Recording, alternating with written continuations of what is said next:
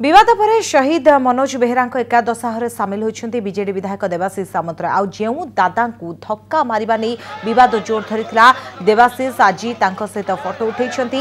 ଆଜି ଏକାଦଶାହରେ ଶହୀଦ ମନୋଜ ବେହେରାଙ୍କ ପୈତୃକ ବାସଭବନରେ ପାରମ୍ପରିକ କର୍ମ କରାଯାଇଥିଲା।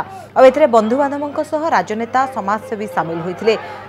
ଶହୀଦ ମନୋଜଙ୍କ ଅନ୍ତ୍ୟେଷ୍ଟିକ୍ରିୟା ସମୟରେ ବିବାଦ ସୃଷ୍ଟି ହୋଇଥିଲା ପରେ ଦେବାଶିଷ ନିଃସର୍ତ୍ତ କ୍ଷମା ପ୍ରାର୍ଥନା କରି ସେ ତାଙ୍କ ଦାଦା ବୋଲି ଜାଣିନଥିବା କହିଥିଲେ। ଆଉ ଏହାପରେ ଚାରିଆଡ଼େ ଶହୀଦଙ୍କ ପରିବାରକୁ ବିଧାୟକ ସମ୍ମାନ କରିଛନ୍ତି ବୋଲି ଚର୍ଚ୍ଚା ହୋଇଥିଲା।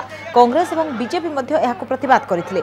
ଏସବୁ ଘଟଣା ପରେ ଆଜି ଏକାଦଶାହରେ ସାମିଲ ହୋଇଥିଲେ ବିଧାୟକ ଦେବାଶିଷ ସାମନ୍ତରାୟ।